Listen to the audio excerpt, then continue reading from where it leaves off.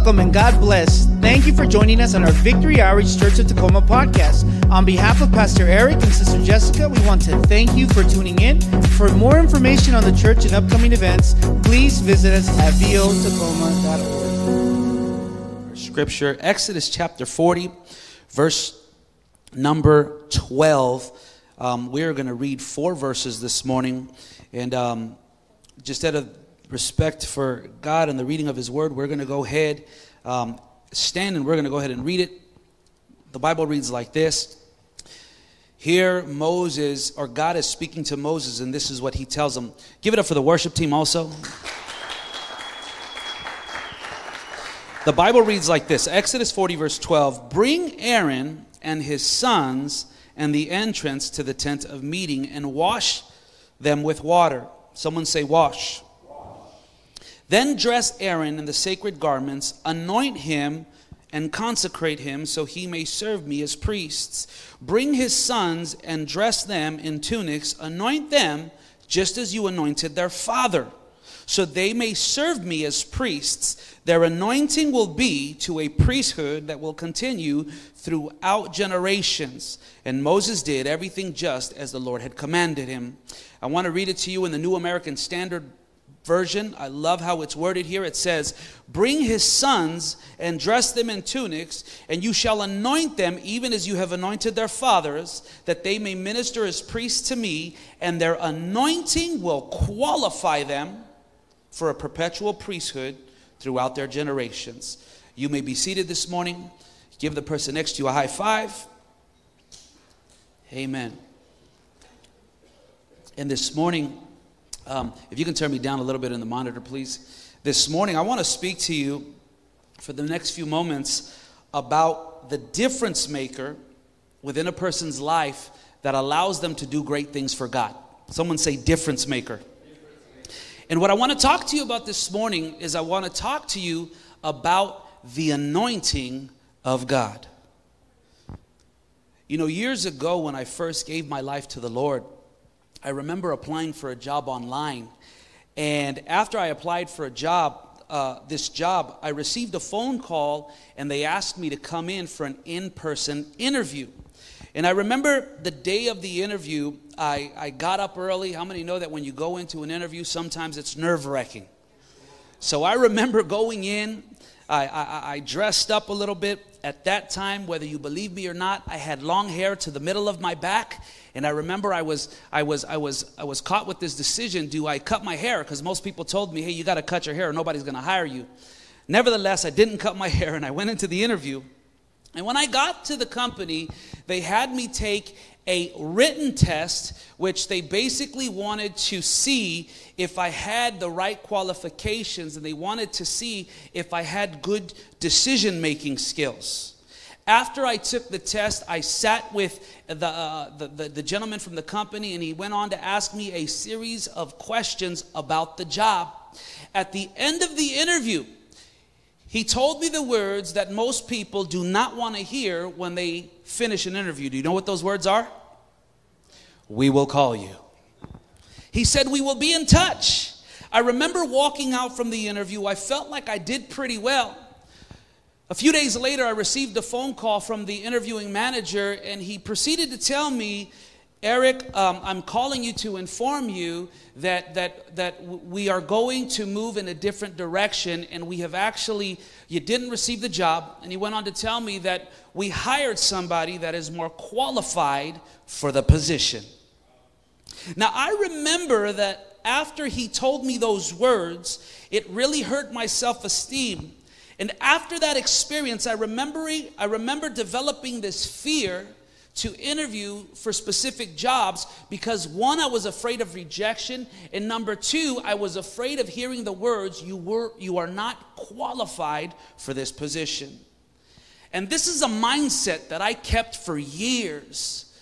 Later on, I gave my life to the Lord and I walked into the church, and I still had this mentality within my spirit that I wanted to do something great for God. I would come to church and I would hear preachers say things like, God has called you to do great things. If you want to do great things for God, you can do it in Jesus' name. But I remember sitting in my seat, I would hear the messages. Passion was welling up inside of me. But although I had passion, I had a negative mindset that constantly said, You don't have anything to offer. Have you ever been there? Well, this morning I, I want to teach you a lesson that someone told me years ago when I gave my life to the Lord. And that's the lesson that God does not look for what man looks for. See, the world has a way of sizing us up. The world has a way of asking for specific qualifications. But what you have to understand this morning about the Lord is that God's system is far different from the world's system. See, what you have to understand this morning is that you don't have to be qualified to do a great work for God. If God has called you, He will qualify you to do whatever it is that He's putting within your heart. See, when God searches for a man or a woman to do something great for His sake, He does not look at qualified people, but He qualifies the people that He calls. And this morning, I want to speak to you about the difference maker and what God can do through your life if we are willing to pursue a holy lifestyle.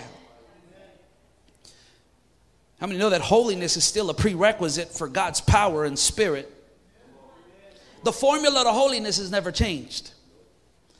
Though the standard of the world may fall, we still have to fight tooth and nail to keep a pure heart and remain faithful to the Lord no matter what we go through.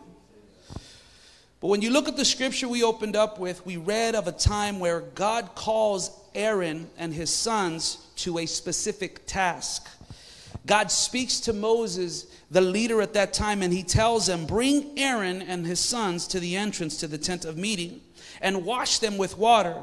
Then dress Aaron in his sacred garments, anoint him, and consecrate him so he may serve me as a priest. So, again, here we have God speaking to Moses. He gives him specific instruction for this man named Aaron, and he's calling him and his sons to a specific task. He tells them to wash them consecrate them, which simply means separate them, and then they anointed them.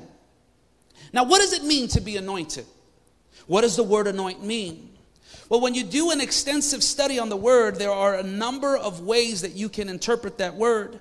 But the word anoint means to authorize, to set apart, a person for a particular work of service. When you look up the Greek word, it's a word called mashak, and this means to smear, to anoint, or to rub with oil or to separate. See, in ancient times, what would happen was when God would raise up a priest or when God would raise up a king, the priest would come and they would anoint them or smear them with oil. And what this was, it was a ceremony, it was a ceremony that basically showed God's approval and spirit upon a person's life.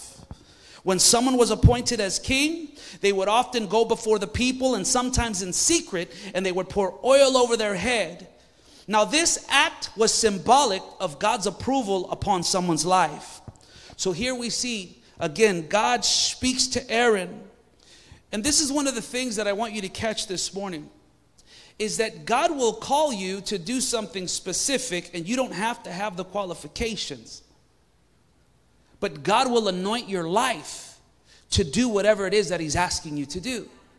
Not only that, the anointing that you have if you're the head of household this morning, you need to know that that anointing is also translates and can be transferred to your children. Because here, God was calling Aaron, but then he also separated his sons. And what does the Bible say? You shall anoint them even as you have anointed their father. Here we see God was anointing and appointing Aaron's family to be a priest. This was a very specific task. Priests during the Old Testament were official ministers or worship leaders in the nation of Israel who represented the people before God. Stick with me, I'm going somewhere. This wasn't something they were qualified for, but this was something that God would give them the ability to do. And this is why he said, and their anointing will qualify them for perpetual priesthood. See, when God calls someone to do something specific, He will always separate you. Separate you from what? He will separate you from the world. Are you hearing me? See, there are many today, you're here and God is doing something within your heart, and you've come to a crossroad where you're feeling God pull you in a direction that is away from the world. But the world is going to constantly try to woo you, win you over, and draw you in to a specific lifestyle. See, God wants to, I believe, raise up people in this day, in this in this very hour so that we can make a difference. How many know that the great revival is still supposed to happen? And before revival can happen, something must first die. And I hate to say it, but in some in some sense, our conviction and belief to stand in God's will in many churches have died. Passion is often attacked because passion is what will keep you standing. Are you hearing me? When everything comes against you. See, when we speak of the anointing upon a person's life, we are talking about the Spirit of God living and working through someone. The anointing of God is the evidence that the Spirit of God lives and works through a person's life. A perfect example of this is when you come to church and you hear someone sing a song and it's as if God's presence hovers over them, that is an example of the Spirit of God or the anointing upon someone's life. Another example of the anointing is when God goes beyond the natural ability of a person and gives him supernatural ability to preach, teach, or counsel. See, the anointing of God is evident when a person senses God's Spirit all over them and they are compelled to respond. Have you ever come and heard a message, or you ever come to church and you just felt the power of God all over your life and you felt compelled to change? That's the anointing of God. Now, the anointing of God again is evident when, when a person senses God's Spirit all over them and they are compelled to respond. And this is what you have to understand about God's Spirit and God's anointing. Prior to Jesus' death on the cross, the Holy Spirit's power was not entirely available to God's people. Therefore, God would anoint a person with his spirit and power and the Holy Spirit would empower them to bring about God's will. Jeremiah 27 5 says, With my great power and outstretched arm, I made the earth and its people and the animals that are in it, and I give it to anyone I please. See, God can give his power to anyone that he pleases. God would empower his servants to accomplish a great task. And although the Holy Spirit was not permanently available to God's people, he worked through them and gave them the power to achieve things they would not have been able to accomplish on their own. Are you hearing me this morning? See, I want to give you a few examples of people that God anointed, and I want to look at their life and show you how God can use even the things that seem insignificant to make a big change in the kingdom. The first person I want to talk to you about is a man by the name of Bezalel. Now, Bezalel can be found in Exodus 31, and he was anointed to be the chief artisan of the tabernacle, and his name meant in the shadow of God. See, God anointed and appointed Bezalel to a specific task in building the Ark of the Covenant and many of the articles that were found in the temple. Exodus 31, let me read it to you. Just listen to these words. It says, Then the Lord spoke to Moses, saying, See, I have called by name, someone say by name, Bezalel, the son of Uri, the son of Hur, of the tribe of Judah. And I have filled him with the Spirit of God in wisdom, in understanding, in knowledge, and in all manner of workmanship to design artistic works, to work in gold, in silver, in bronze, in cutting jewels, or setting and carving wood, and to work in all manners of workmanship. And I indeed, I have appointed with him Eliab, the son of Amishak from the tribe of Dan, and I have put wisdom in his heart of all gifted artisans, and that they may make all that I have commanded you. So here we see God, he calls a man by the name of Bezalel by name. Now, the Bible tells us that he gives him wisdom, that he gives him knowledge, and he gives him the ability in all workmanship. Not only did God appoint Bezalel, but God also called and appointed an assistant named Eliab. Now, these men, you know, when you read scriptures like this, you can really just read over it. But what is interesting is when you do an in depth study about the blueprint that God gave Moses, many scholars believe this. Well, this is something that I read. It said, The candlestick of the sanctuary was so complicated in nature that Moses could not comprehend it. And although God twice showed him a heavenly model, but he was unable to describe it.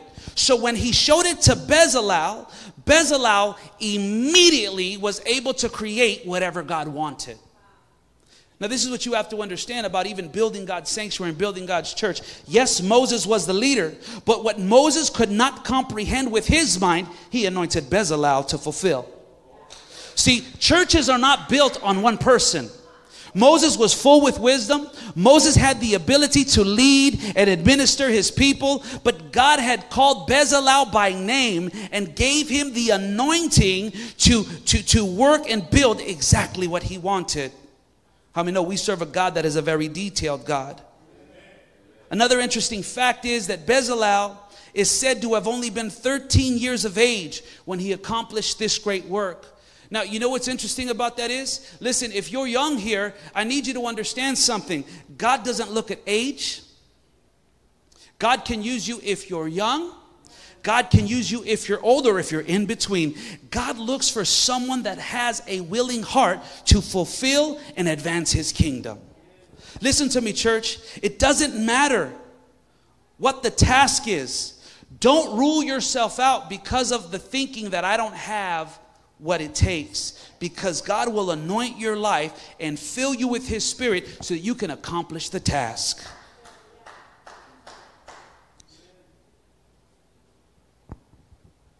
See, sometimes we look at the gifts that we have and we see them small. You might like to bake this morning, and you might be very good at it, and you might think, well, what could that do for the Lord? Let me tell you what that could do for the Lord. You know, we want to build a welcome center in this room here. But do you imagine what kind of atmosphere we would have if all the bakers that had passion came together, baked fresh baked cookies. Come on, somebody. See, Doubletree has it down right. Right? Who's ever been to Doubletree? They come and they give you those warm chocolate cookies. Come on, somebody. Now, I know who I have in my church, and I know that there are some of you that, that you can bake real well. You can make lemon bars. Come on, somebody. You can make brownies. But imagine if we just developed this welcome center and people after would come, have a cup of tea, have some coffee, or maybe have some iced tea and grab a grab a donut, grab a lemon bar, grab something that you baked. Now, now to, to everyone else it might seem insignificant, but what you just did, you created a connection point, you created a reason for someone to stay, and they may have during that period of time that they stayed, had a conversation with somebody that would give them hope and later change their life. Are you hearing me? See, there are some of you, you have the administrative gift. You get paid to manage. You get paid to put things together. Well, we need your talent and we need your skill so that we can put on excellent events. And without you, we would never reach our full potential. Are you hearing me this morning? See, God can use the little things that we feel are insignificant to advance His kingdom. God anointed this man named Bezalel in workmanship to build his kingdom. The second person that I want to talk to you about that God anointed is a man by the name of David. I'm sure you've read about him. You know, really studying his life over, there was some very interesting things that I didn't catch the first few times that I read. But Samuel, you know, the man of God was asked by the Lord to go into Bethlehem and anoint somebody. And 1 Samuel 16 gives us the account, and this is what it says. So he sent and brought him in. Now he was ruddy with bright eyes and good looking, and the Lord said, Arise and anoint him, for this is the one. Someone say, The one. Then Samuel took the horn of oil and anointed him in the midst of his brothers, and the Spirit of the Lord came upon David from that day forward. See, David is another example of a man who was anointed and appointed by God. Now, what I love about David's story is that David's story is the ultimate story of an underdog. See, the Bible tells us that he was overlooked. You know what's interesting is that he was overlooked by his father. He was even overlooked by Samuel the prophet. Listen to what it says in 1 Samuel 16 7. He comes and he looks at his brother Eliab, and Samuel thought, Surely this is the one that you want to anoint. And this is what God tells him Do not consider his appearance or his height, for I have rejected him. The Lord does not look at the things man looks at. Man looks at the outward appearance, but God looks at the heart. Later on, Samuel, after he hears this from the Lord, he asks Jesse, the, the, the, the father of David, he said, Do you have anyone else? And listen to what he said. He said, Wait a minute, there's one more. And he calls David. And that's who God chose to anoint. See, David didn't look the part, David was even overlooked. But God chose to anoint him because of his heart. See, when, when nobody see, and this morning when I was praying, I really sensed that there are some of you feel like you're overlooked. You feel forgotten. You feel like, like God has forgotten you, but I have good news for you. You're like David in the shepherd's field. Nobody may see you right now, but you know what's interesting? David wasn't anointed to be king that day. He was anointed when he stood up for the sheep when the bear came in to try to take it.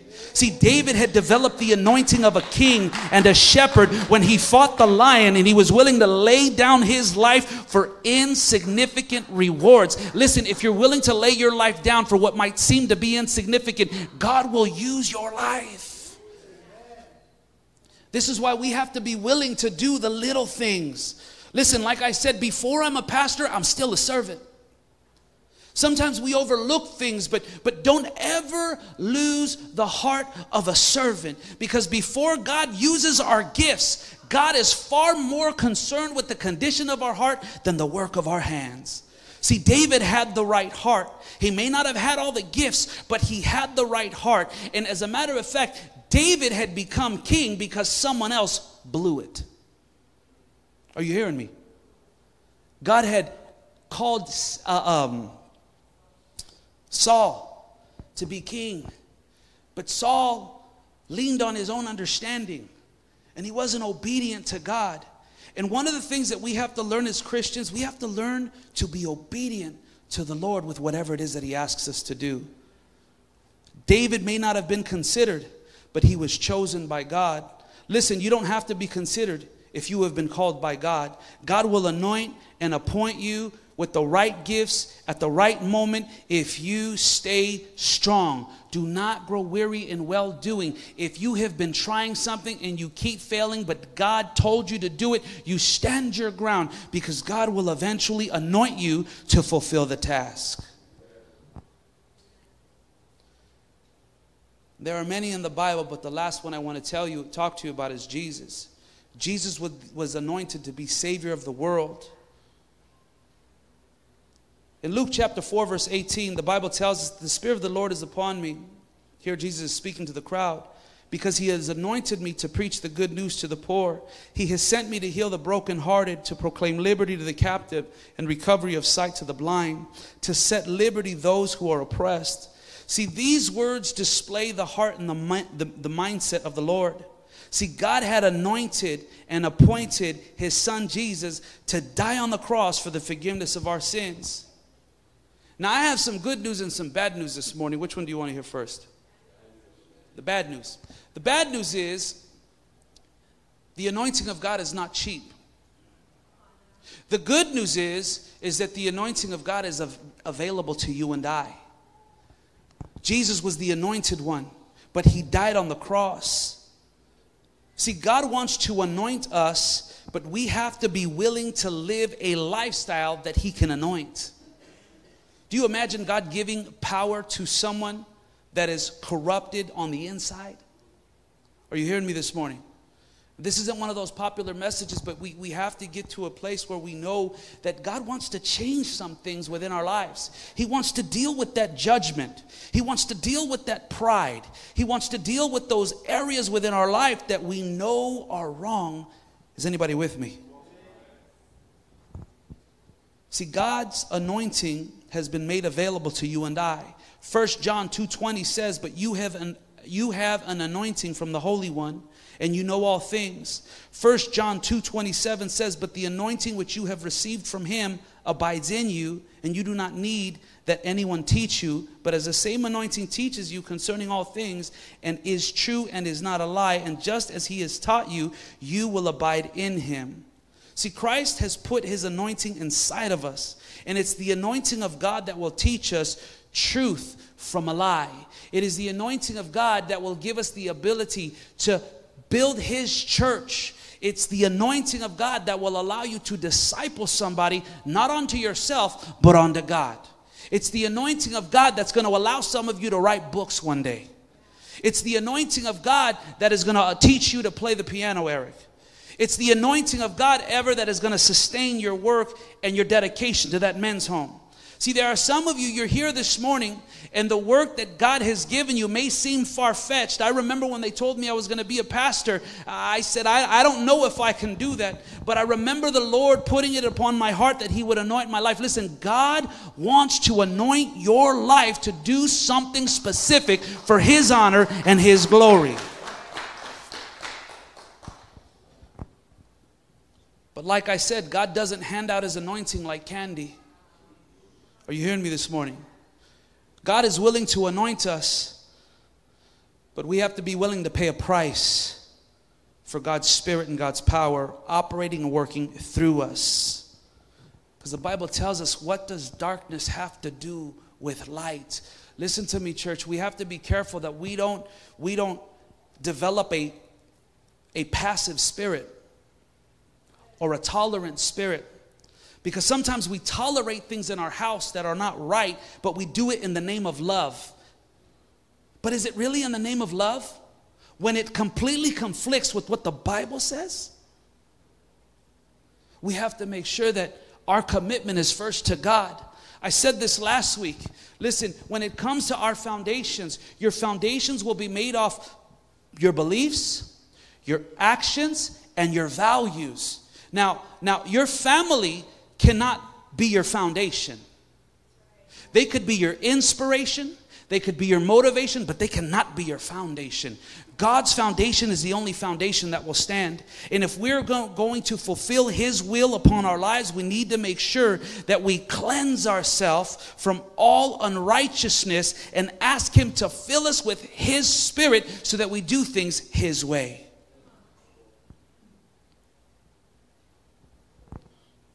See, God desires to anoint our life with His Spirit. However, before we can walk in His anointing, God must first wash and cleanse, our, cleanse us from anything He has not authorized within our lives. Notice it wasn't until after Aaron and his sons were washed that Moses anointed him. Exodus 40, verse 12 Bring Aaron and his sons to the entrance of the tent of meeting and wash them with water. It wasn't until after that, in verse number 13, he said, Now anoint him and consecrate him so he may serve me as priests. It wasn't until after he was washed that God anointed his life. Listen to me, Victory Outreach Tacoma. God wants to anoint his people the anointing of God has been made available to us. Second Corinthians 1:21 says, "Now he who establishes us with you in Christ and has anointed us in God, who also has sealed us and given us the Spirit in our hearts as a guarantee." God has promised us a helper, the Holy Spirit. God is willing to impart his spirit within us. But we have to live repentive lives. We have to be willing to stand for what is right and no longer accept the things that we know are wrong. Are you hearing me this morning? If God has called you, if God is putting a burden and a passion inside of you, you have to know that He will anoint that, that, that passion and that gift. The thing that God puts inside of you, if it aligns itself with the Word of God, chances are it's the Lord that put it there. And it's time for us to stand and do the things that He's called us to do. Are you with me this morning? I'm going to ask you to stand with me.